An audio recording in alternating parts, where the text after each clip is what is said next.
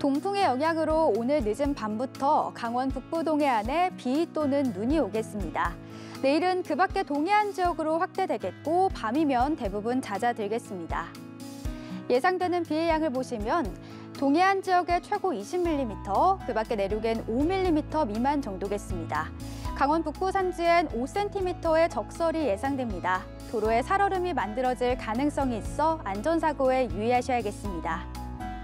비가 그친 뒤 내일부터 중부지방의 아침 기온이 10도 이상 떨어지겠습니다. 서울 5도, 대전 6도, 광주와 대구는 8도로 출발하겠습니다.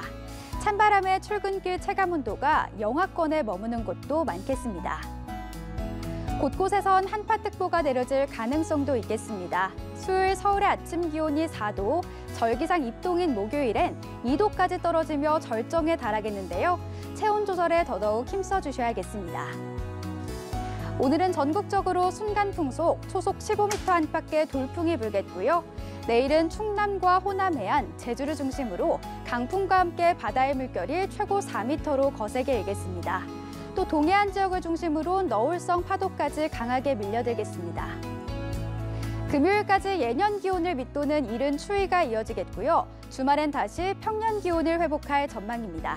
날씨 전해드렸습니다.